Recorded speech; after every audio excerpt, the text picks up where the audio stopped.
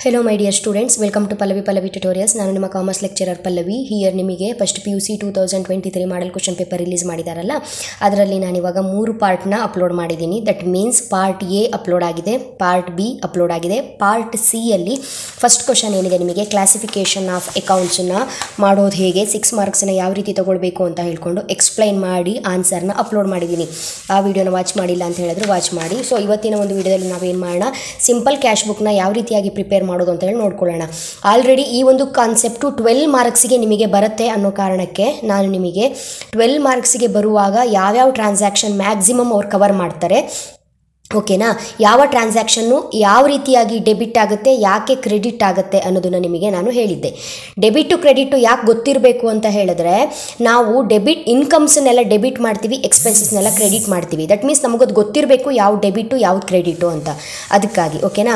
ನಿಮಗೆ ಯಾರಿಗಾದರೂ simple cash book ಅಂದರೆ ಏನು ಅಂತಲೇ ಗೊತ್ತಿಲ್ಲ, ತುಂಬ ಕನ್ಫ್ಯೂಷನ್ ಇದೆ ಅಂತ ಹೇಳಿದ್ರೆ ಡಿಸ್ಕ್ರಿಪ್ಷನಲ್ಲಿ ಒಂದು ಲಿಂಕ್ ಇದೆ ಆ, ವಿಡಿಯೋನ ವಾಚ್ ಮಾಡಿ. ಯಾಕೆ ಅಂತ ಹೇಳಿದ್ರೆ, ಆ ವಿಡಿಯೋನ ವಾಚ್ ಮಾಡಿದ್ರೆ ನಿಮಗೆ ಇಲ್ಲಿ ಸಿಕ್ಸ್ ಔಟ್ ಆಫ್ ಸಿಕ್ಸ್ ಬಂದೇ ಬರುತ್ತೆ. ಒಂದೇ ಒಂದು ಟ್ರಿಕ್ಕು ಆ ಟ್ರಿಕ್ಕಲ್ಲಿ ನಿಮಗೆ ಎಷ್ಟು ಏನಿಲ್ಲ, ಬರುತ್ತೋ ಹೋಗುತ್ತೋ ಬಿಸ್ನೆಸ್ಸಿಗೆ ಬರ್ತಾ ಇದೆಯಾ ಹೋಗ್ತಾ ಇದೆಯಾ, ಅಷ್ಟು ಕಲ್ತ್ಕೊಂಡ್ರಾಯ್ತು. ಬರೋದಂದ್ರೆ ಏನು, ಹೋಗೋದಂದ್ರೆ ಏನು? ಯಾವಾಗ ಬರುತ್ತೆ, ಯಾವಾಗ ಹೋಗುತ್ತೆ? ಇಷ್ಟು ಗೊತ್ತಾಯಿತು ಅಂತ ಹೇಳಿದ್ರೆ ಸಿಕ್ಸ್ ಮಾರ್ಕ್ಸಿಗೆ ಕೇಳಿದ್ರೆ ಸಿಕ್ಸ್ ಮಾರ್ಕ್ಸು ಬರುತ್ತೆ ಟ್ವೆಲ್ ಮಾರ್ಕ್ಸಿಗೆ ಕೇಳಿದ್ರು ಟ್ವೆಲ್ ಮಾರ್ಕ್ಸು ಬರುತ್ತೆ ಮಕ್ಕಳೇ. ಸೊ ಆ ವಿಡಿಯೋನ ಮಿಸ್ ಮಾಡ್ಕೋಬೇಡಿ. ಈ ಹಿಂದೆ ಆಲ್ರೆಡಿ ವಾಚ್ ಮಾಡಿದ್ದೀರಾ ಆ ವಿಡಿಯೋ ಅನ್ನೋದಾದರೆ ಅವಶ್ಯಕತೆ ಇಲ್ಲ. ಈ ಪ್ರಾಬ್ಲಮ್ಮು ಕೂಡ ನನಗಿಂತ ಮುಂಚೆನೇ ನೀವು ಮಾಡಿರ್ತೀರ. ಓಕೆನಾ ಏನು ಕೇಳಿದ್ದಾರೆ question enter the following transaction in a simple cash book and balance it ಅಂತ ಕೇಳಿದ್ದಾರೆ. ಓಕೆನಾ ಕೇಳಿರೋದು ಸಿಕ್ಸ್ ಮಾರ್ಕ್ಸಿಗಾಗಿರೋದ್ರಿಂದ ಟೋಟಲ್ ಆಗಿ ಅವರು ಏನು ಮಾಡಿದ್ದಾರೆ? ಫೈ ಟ್ರಾನ್ಸಾಕ್ಷನ್ ಕೊಟ್ಟಿದ್ದಾರೆ. ನೋಡಿ ಫೈ ಕೊಟ್ಟಿದ್ದಾರೆ. ಫೈ ಟ್ರಾನ್ಸಾಕ್ಷನಿಗೂ ಒಂದೊಂದು ಟ್ರಾನ್ಸಾಕ್ಷನಿಗೂ ಒಂದೊಂದು ಮಾರ್ಕ್ ಬಟ್ ನೀವು ಕಾಲಮ್ ಹಾಕಿ ಆ ಪ್ರಾಬ್ಲಮಿಗೆ ಸೊಲ್ಯೂಷನ್ನ ಪ್ರೆಸೆಂಟ್ ಮಾಡ್ತಿರಲ್ಲ, ಅದಕ್ಕೆ ಒನ್ ಮಾರ್ಕ್ ಇರುತ್ತೆ. ಸೊ ನೀಟಾಗಿ ಕಾಲಮ್ನ ಹಾಕ್ಕೊಳ್ಬೇಕು ಕಾಲಮಲ್ಲಿ ಯಾವ ಕಾಲಮು ಕೂಡ ಏನಾಗೋ ಹಾಗೆ ಇಲ್ಲ ಮಿಸ್ ಆಗೋ ಹಾಗೆ ಇಲ್ಲ. ಓಕೆನಾ ಸೆಕ್ಷನ್ ಸಿ ಟ್ವೆಂಟಿ ಸಿಕ್ಸ್ತ್ ಕ್ವಶನ್ನು ಸಿಂಪಲ್ ಕ್ಯಾಶ್ ಬುಕ್ ಅಂತ ಬರ್ಕೊಂಡು calculation of simple cash book date particulars L F amount date particulars L F amount ಗೊತ್ತಿದೆ ಯಾ ಪರ್ಟಿಕ್ಯುಲರ್ಸ್ ಕಾಲಮ್ನ ನೀವೇನು ಮಾಡಬೇಕು? ಸ್ವಲ್ಪ ದೊಡ್ಡದಾಗಿ ಹಾಕೋಬೇಕು. ಅಮೌಂಟು ಕೂಡ ಸ್ವಲ್ಪ ದೊಡ್ಡದಾಗಿ ಹಾಕೊಳ್ಬೇಕು. ಆನ್ಸರ್ ಬರೆದಾದ್ರ ಮೇಲೆ ಬ್ಯಾಲೆನ್ಸ್ ಮಾಡಿ ಇಡಬೇಕು. ಸೊ ಇಲ್ಲಿ ಕೊಟ್ಟಿರೋದು ಐದು ಟ್ರಾನ್ಸಾಕ್ಷನು ಇವಾಗ ಇದನ್ನು ನಾವಿಲ್ಲಿ ಡೆಬಿಟ್ ಕ್ರೆಡಿಟ್ ಅಂತ ಬರ್ಕೊಂಡ್ವಿ ಅಂತ ಅಂದ್ಕೊಳ್ಳಿ ಓಕೆ ನಾವು ಬರ್ಕೊಳ್ಳೇಬೇಕು ಬರ್ಕೊಂಡಿದ್ದೀವಿ ಡೆಬಿಟ್ ಸೈಡ್ ಯಾವುದು ಬರುತ್ತೆ? ಕ್ರೆಡಿಟ್ ಸೈಡ್ ಯಾವ್ದು ಬರುತ್ತೆ? ಅಷ್ಟೇ ತಾನೇ ಇವಾಗಿರೋ ಡೌಟು ಇದನ್ನು ಹನ್ನೆರಡು ಮಾರ್ಕ್ಸಿಗೆ ಕೊಟ್ಟರು ಅದೇ ರೂಲ್ಸು ಇಲ್ಲಿ ಬೇಕಾದ್ರೆ ಹತ್ತು ಟ್ರಾನ್ಸಾಕ್ಷನ್ ಕೊಡಲಿ. ಆ ಕೊಟ್ಟಿರೋ ಹತ್ತು ಟ್ರಾನ್ಸಾಕ್ಷನಲ್ಲಿ ಡೆಬಿಟ್ ಸೈಡ್ ಯಾವ್ದು ಬರುತ್ತೆ? ಕ್ರೆಡಿಟ್ ಸೈಡ್ ಯಾವ್ದು ಬರುತ್ತೆ? ಯಾವ್ದು ಬರುತ್ತೋ ಅದನ್ನು ಬರೆಯೋದು. ಅಲ್ಲಿ ಏನಿದೆಯೋ ಅದೇ ಅಮೌಂಟನ್ನು ಬರೆಯೋದು. ಟೋಟಲ್ ಮಾಡಿ ಬ್ಯಾಲೆನ್ಸ್ ಮಾಡಿ ಡಿಫ್ರೆನ್ಸ್ ಫಿಗರ್ ಇದ್ರೆ ಬರೆದಿಡೋದು ಅಷ್ಟೇ ಮಕ್ಕಳೇ ಹಾಗಾದರೂ ನೋಡ್ತಾ ಹೋಗೋಣ ಏನಿದೆ ಅಂತ ಹೇಳ್ಕೊಂಡು. First one balance of cash in hand rupees twelve thousand. ಏನು? Balance of cash in hand ಅಂದರೆ ಏನು? ಬಿಸ್ನೆಸ್ಸು ಸ್ಟಾರ್ಟ್ ಆಗಿ ಹತ್ತು ವರ್ಷ ಆಗಿದೆ ಅಂತ ಅಂದ್ಕೊಳ್ಳಿ ಇದು ಹನ್ನೊಂದನೇ ವರ್ಷ ಅಂತ ಅಂದ್ಕೊಳ್ಳಿ ಹಿಂದಿನ ವರ್ಷದ ಕ್ಯಾಶು ಉಳಿದಿದೆ ನಮ್ಮ ಹತ್ರ. ಕ್ಯಾಶ್ ಇನ್ ಹ್ಯಾಂಡ್ ಎಷ್ಟಿದೆ? ಹನ್ನೆರಡು ಸಾವಿರ ರೂಪಾಯಿ ಉಳಿದಿದೆ. ಅಂದರೆ ಪ್ರಾಫಿಟ್ ಅಂತಲೇ ಅರ್ಥ. ಹಿಂದಿನ ವರ್ಷದ ಒಂದು ಬ್ಯಾಲೆನ್ಸು ಉಳಿದಿದೆ, ಕ್ಯಾಶ್ ಉಳಿದಿದೆ. ಏನಂತ ಅರ್ಥ ಅದು? ಪ್ರಾಫಿಟ್. ಇನ್ಕಮ್. ಅಸೆಟ್ ಏನು ಬೇಕಿದ್ರು ಹೇಳ್ಬೋದು. ಕ್ಯಾಶ್ ಇನ್ ಹ್ಯಾಂಡಿಗೆ ನಾವು ಅಸೆಟ್ ಅಂತ ಹೇಳ್ಬೋದು, ಕೈಯಲ್ಲಿ ಉಳಿದಿರೋ ಇನ್ಕಮ್ ಅಂತ ಹೇಳ್ಬೋದು ಪ್ರಾಫಿಟ್ ಅಂತ ಹೇಳ್ಬೋದು. ಸೊ ಏನು ಮಾಡಬೇಕು ನಾವು ಇದನ್ನು? ಇನ್ಕಮ್ ಅಂತ ಕನ್ಸಿಡರ್ ಮಾಡೋಣ. ಇನ್ಕಮ್ ಅಂತ ಕನ್ಸಿಡರ್ ಮಾಡಿದ್ರೆ all incomes are debited no doubt ಎಲ್ಲ ಇನ್ಕಮ್ಸನ್ನು ನಾವೇನು ಮಾಡಬೇಕು? ಡೆಬಿಟ್ ಮಾಡಬೇಕು. ಅಂದರೆ ಡೆಬಿಟ್ ಸೈಡ್ ಬರಿಬೇಕು. All expenses are credited expenses ಆದರೆ ಕ್ರೆಡಿಟ್ ಮಾಡಬೇಕು. ಅಂದರೆ ಇನ್ನೊಂದು ರೀತಿಯಲ್ಲಿ ಹೇಗೆ ಹೇಳ್ಬೋದು ನೀವು ಮಾಡ್ತಾ ಇರೋ ಬಿಸ್ನೆಸ್ಸಿಗೆ ಇನ್ಕಮ್ ಆಗ್ತಾ ಇದೆಯಾ ಮಕ್ಕಳೇ? ಎಲ್ಲ ಡೆಬಿಟ್ ಸೈಡ್ ಬರೀರಿ. ಬಿಸ್ನೆಸ್ಸಿಗೆ ಎಕ್ಸ್ಪೆನ್ಸ್ ಆಗ್ತಾ ಇದೆಯಾ? ಕ್ರೆಡಿಟ್ ಸೈಡ್ ಬರೀರಿ. ಫಸ್ಟು ನೀವೇನು ಅಸ್ಯೂಮ್ ಮಾಡ್ಕೋಬೇಕು? ನಿಮ್ಮನ್ನು ನೀವು ಬಿಸ್ನೆಸ್ ಅಂತ ಅಸ್ಯೂಮ್ ಮಾಡ್ಕೋಬೇಕು. ನೀವೇ ಒಬ್ನಿಗೆ ದುಡ್ಡು ಕೊಟ್ಟರೆ ನಿಮ್ಮಿಂದನೇ ಒಬ್ನಿಗೆ ದುಡ್ಡು ಹೋದರೆ ಅದು ಎಕ್ಸ್ಪೆನ್ಸು ಖರ್ಚು ಕ್ರೆಡಿಟ್ ಮಾಡಿ. ನಿಮಗೆ ಎಲ್ಲಿಂದನೋ ದುಡ್ಡು ಬಂತು, ನಿಮಗೆ ಎಲ್ಲಿಂದನೋ ಇನ್ಕಮ್ ಬಂತು, ಅದು ಡೆಬಿಟ್ ಅಷ್ಟೇ, ಸಿಂಪಲ್. ಅದನ್ನು ತಿಳ್ಕೊಂಡ್ರೆ ಆಯಿತು ಅಲ್ಲಿಗೆ cash in hand income asset, debit ಮಾಡಬೇಕು. ಯಾವ ಸೈಡ್ ಬರೀತೀರಾ? Debit side ಬರೀತೀರಾ. Cash received from Sandhya. Received. ಈ ವರ್ಣ ನೆನ್ಪಿಟ್ಕೊಳ್ಳಿ. All received.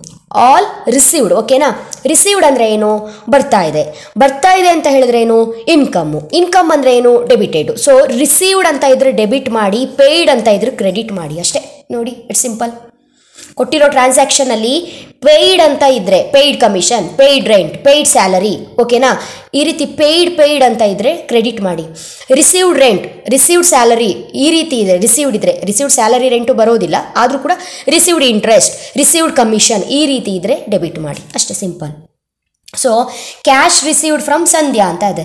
ರಿಸೀವ್ ಮಾಡ್ಕೊಂಡಿದ್ದೀವಿ.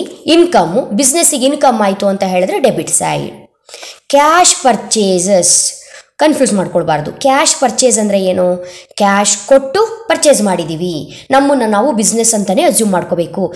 ಕ್ಯಾಶ್ ಕೊಟ್ಟು ಪರ್ಚೇಸ್ ಮಾಡಿದಾಗ ಪರ್ಚೇಸ್ ಮಾಡಿರೋ ಐಟಮ್ನ ನಾವು ತೊಗೊಬರ್ತೀವಿ ಬಿಟ್ಟರೆ ಪರ್ಚೇಸ್ ಮಾಡಿದ್ದಕ್ಕೆ ಏನು ಕೊಡ್ತೀವಿ? ಕ್ಯಾಶನ್ನ ಅಂಗಡಿಯವ್ರಿಗೆ ಕೊಡ್ತೀವಿ. ಅಥವಾ ಯಾವುದೋ ಒಬ್ಬ ಏನೋ, ಆ ಒಂದು ಹೋಲ್ಸೇಲ್ ಬಿಸ್ನೆಸ್ ಯಾರು ಮಾಡ್ತಿರ್ತಾರೋ ಅವರಿಗೆ ನಾವು ಆ ಕ್ಯಾಶನ್ನು ಕೊಡ್ತೀವಿ. ನಮ್ಮಿಂದ ಏನು ಹೋಯಿತು ಪರ್ಚೇಸ್ ಮಾಡಿದಾಗ? ಕ್ಯಾಶ್ ಹೋಯಿತು. ಇದು ನೆನ್ಪಿಟ್ಕೋಬೇಕು. ಪರ್ಚೇಸ್ ಮಾಡಿದಾಗ ಕ್ಯಾಶು ಹೋಗುತ್ತೆ. ಸೇಲ್ಸ್ ಮಾಡಿದಾಗ ಕ್ಯಾಶು ಬಿಸ್ನೆಸ್ಸಿಗೆ ಬರುತ್ತೆ. ಕ್ಯಾಶು ಬಿಸ್ನೆಸ್ಸಿಂದ ಹೋಯಿತು ಅಂತ ಹೇಳಿದ್ರೆ ಎಕ್ಸ್ಪೆನ್ಸ್ ಕ್ಯಾಶು ಬಿಸ್ನೆಸ್ಸಿಗೆ ಬಂತು ಅಂತ ಹೇಳಿದ್ರೆ ಇನ್ಕಮ್ ಸೊ ಸೇಲ್ಸು ಇನ್ಕಮ್ ಆಗುತ್ತೆ ಡೆಬಿಟ್ ಮಾಡಬೇಕು. ಪರ್ಚೇಸು ಎಕ್ಸ್ಪೆನ್ಸ್ ಆಗುತ್ತೆ ಕ್ರೆಡಿಟ್ ಮಾಡಬೇಕು. ನೋಡಿ, ಮೂರು ರೂಲ್ಸಿಗೆ ಹನ್ನೆರಡು ಮಾರ್ಕ್ಸ್ ಆದರೂ ಬರುತ್ತೆ, ಆರು ಮಾರ್ಕ್ಸಿಗೆ ಕೊಟ್ಟರು ಬರುತ್ತೆ. ಸೊ ಕ್ಯಾಶ್ ಕೊಟ್ಟು ಪರ್ಚೇಸ್ ಮಾಡಿದ್ದೀವಿ ಕ್ಯಾಶು ಬಿಸ್ನೆಸ್ಸಿಂದ ಹೋಯಿತು ಎಕ್ಸ್ಪೆನ್ಸ್ ಆಯಿತು ಕ್ರೆಡಿಟ್ ಮಾಡ್ತೀವಿ.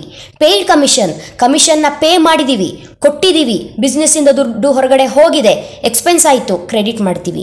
ಪೇಯ್ಡ್ ರೆಂಟ್ ರೆಂಟನ್ನು ಕೊಟ್ಟಿದ್ದೀವಿ. ಐದು ಸಾವಿರ ಬಿಸ್ನೆಸ್ಸಿಂದ ಹೊರಗಡೆ ಹೋಗಿದೆ. ಪೇಯ್ಡ್ ಆಗಿದೆ. ಎಕ್ಸ್ಪೆನ್ಸ್ ಆಯಿತು. ಕ್ರೆಡಿಟ್ ಮಾಡಿದ್ದೀವಿ. ಮೂರು ರೀತಿಲಿ ತಿಳ್ಕೊಬೋದು. ಪೇಯ್ಡ್ ರೆಂಟ್ ಅಂತ ಹೇಳಿದ್ರೆ ಎಕ್ಸ್ಪೆನ್ಸು ಹೌದು. ಪೇಯ್ಡ್ ಆಗಿದೆ. ಹೋಗಿದೆ. ಪೇಯ್ಡ್ ಅಂದರೂ ಕ್ರೆಡಿಟು ಹೌದು. ನೋಡಿ, ನೀವು ಹೇಗೆ ಅರ್ಥ ಮಾಡಿಕೊಂಡು ನೀವು ಯಾವ ಬೇಕಾದ್ರೆ ಕಲ್ತ್ಕೊಳ್ಳಿ. ಇನ್ಕಮು ಡೆಬಿಟು ಎಕ್ಸ್ಪೆನ್ಸು ಕ್ರೆಡಿಟು ಹೀಗಾದರೂ ತಿಳ್ಕೊಳ್ಳಿ. ರಿಸೀವ್ಡು ಡೆಬಿಟ್ಟು ಪೇಯ್ಡು, ಕ್ರೆಡಿಟು ಈ ರೀತಿ ಆದರೂ ಅರ್ಥ ಮಾಡ್ಕೊಳ್ಳಿ. ಹೇಗೆ ಅರ್ಥ ಮಾಡಿಕೊಂಡ್ರು ಕೂಡ ಪ್ರಾಬ್ಲಮ್ ಸರಿಯಾಗುತ್ತೆ. ಸೊ ಅಲ್ಲಿಗೆ ಡೆಬಿಟ್ ಸೈಡ್ ಯಾವ್ದ್ಯಾವ್ದು ಬರುತ್ತೆ?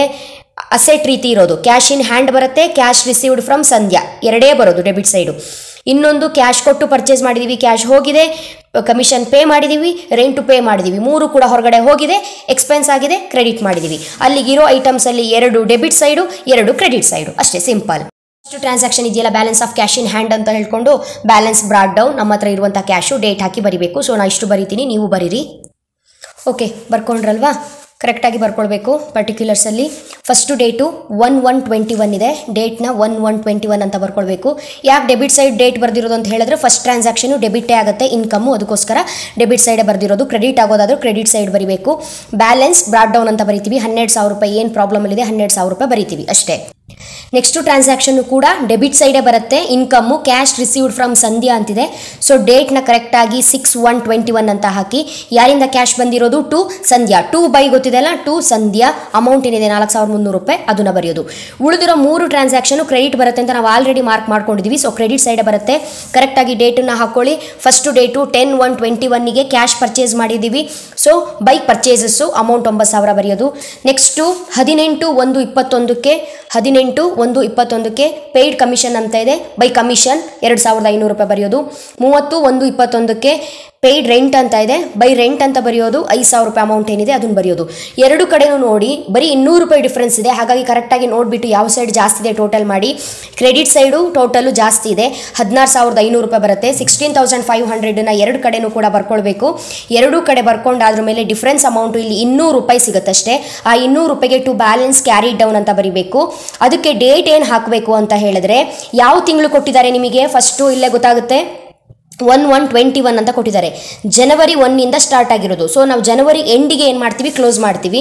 ಎಂಡ್ ಡೇಟ್ನ ಹಾಕಬೇಕು. ಮೂವತ್ತಕ್ಕೆ ಟ್ರಾನ್ಸಾಕ್ಷನ್ ಒಂದು ಕೊಟ್ಟಿದ್ದಾರೆ. ಮೂವತ್ತೊಂದು, ಒಂದು ಇಪ್ಪತ್ತೊಂದು. ಎಂಡ್ ಡೇಟ್ ಮಂತ್ ಎಂಡ್ ಡೇಟನ್ನು ಕೊಟ್ಟು to balance carry down two hundred rupees ಅಂತ ಬರೆಯೋದು. ಸೊ ಈ ಒಂದು ಕ್ಯಾಶ್ ಬುಕ್ಕಿನ ಪ್ರಕಾರ ಎಕ್ಸ್ಪೆನ್ಸಸ್ ಜಾಸ್ತಿ ಇದೆ. ಇನ್ಕಮ್ ಕಡಿಮೆ ಇದೆ. ಗೊತ್ತಾಗ್ತಿದೆಯಲ್ಲ? ಎಕ್ಸ್ಪೆನ್ಸು ಹದಿನಾರು ಸಾವಿರದ ಐನೂರು ರೂಪಾಯಿ ಆಗಿದೆ ಈ ತಿಂಗಳಲ್ಲಿ. ಬಟ್ ಇನ್ಕಮ್ಮು ಈ ತಿಂಗಳಲ್ಲಿ ಹದಿನಾರು ಸಾವಿರದ ಮುನ್ನೂರು ರೂಪಾಯಿ ಆಗಿದೆ. ಹೇಗೆ? ಹನ್ನೆರಡು ಸಾವಿರ ಪ್ಲಸ್ ನಾಲ್ಕು ಸಾವಿರದ ಮುನ್ನೂರು, ಹದಿನಾರು ಸಾವಿರದ ಮುನ್ನೂರು ರೂಪಾಯಿ ಆಗಿದೆ. ಸೊ ಹದಿನಾರು ಸಾವಿರದ ಐನೂರಲ್ಲಿ ಹದಿಮೂರು ಸಾವಿರದ ಮುನ್ನೂ, ಹದಿನಾರು ಸಾವಿರದ ಮುನ್ನೂರು ರೂಪಾಯಿ ಕಳೆದ್ರೆ ಇನ್ನೂರು ರೂಪಾಯಿ ಉಳಿಯುತ್ತೆ. ಓಕೆನಾ ಸೊ ನಮಗೆ ಎಕ್ಸ್ಪೆನ್ಸು ಜಾಸ್ತಿ ಆಗಿದೆ ಇನ್ಕಮ್ಮು ಕಡಿಮೆ ಇದೆ ಅಂತ ಗೊತ್ತಾಗ್ತದೆ. ಅದೇ ಈ ಕಡೆನೇ ಜಾಸ್ತಿ ಇದ್ದು, ಈ ಕಡೆ ಕಡಿಮೆ ಇದ್ದಿದ್ರೆ ಇನ್ಕಮ್ಮೇ ಜಾಸ್ತಿ ಇದೆ ಎಕ್ಸ್ಪೆನ್ಸು ಕಡಿಮೆ ಅಂತ ಹೇಳ್ಬೋದಾಗಿತ್ತು. ಸೊ ಇದು ಸಿಂಪಲ್ ಕ್ಯಾಶ್ ಬುಕ್ನ ಯಾವ ರೀತಿಯಾಗಿ ಮಾಡಬೇಕು ಅನ್ನೋದು ಕಂಟಿನ್ಯೂಸ್ ಆಗಿ ವೀಡಿಯೋ ಮಾಡ್ಲಿಕ್ಕೆ ಆಗ್ತಾ ಇಲ್ಲ. ಅದಕ್ಕೆ ನೆಕ್ಸ್ಟ್ ಪ್ರಾಬ್ಲಮ್ನ ನೆಕ್ಸ್ಟ್ ವೀಡಿಯೋದಲ್ಲಿ ಅಪ್ಲೋಡ್ ಮಾಡ್ತೀನಿ. ಆಲ್ರೆಡಿ ನಾನು ಪೆಟಿ ಕ್ಯಾಶ್ ಬುಕ್ನ ಯಾವ ರೀತಿ ಮಾಡಬೇಕು ಅನ್ನೋದು ಅಪ್ಲೋಡ್ ಮಾಡಿಬಿಟ್ಟಿದ್ದೀನಿ. ನಿಮ್ಗೆ ಎಲ್ರಿಗೂ ಗೊತ್ತು. ಒನ್ಸ್ ಅಗೈನ್ ಇದಕ್ಕೆ ಆನ್ಸರ್ ಮಾಡೋದು ಯಾವ ರೀತಿ ಅನ್ನೋದನ್ನ ನೆಕ್ಸ್ಟ್ ವೀಡಿಯೋದಲ್ಲಿ ಹೇಳ್ತೀನಿ. ಓಕೆನಾ ಅಲ್ಲಿವರೆಗೂ ಕೂಡ ಚೆನ್ನಾಗಿ ಓದ್ಕೊಳ್ಳಿ. ಎಕ್ಸಾಮ್ ಚೆನ್ನಾಗುತ್ತೆ ಟೆನ್ಷನ್ ಮಾಡ್ಕೊಳ್ಳೋದು ಬೇಡ. ಯಾರ್ಯಾರು ಚಾನಲ್ನ ಸಬ್ಸ್ಕ್ರೈಬ್ ಮಾಡ್ಕೊಂಡಿಲ್ಲ ಇವಾಗಲೇ ಸಬ್ಸ್ಕ್ರೈಬ್ ಮಾಡಿಕೊಂಡು ಆಲ್ ಬಟನ್ನ ಕ್ಲಿಕ್ ಮಾಡ್ಕೊಳ್ಳಿ. ಇಲ್ಲಾಂದರೆ ಇದಕ್ಕೆ ಆನ್ಸರ್ನ ಅಪ್ಲೋಡ್ ಮಾಡಿದ ತಕ್ಷಣ ನಿಮಗೆ ನೋಟಿಫಿಕೇಷನು ಬರಲ್ಲ ಮಕ್ಕಳೇ. Okay thank you all the best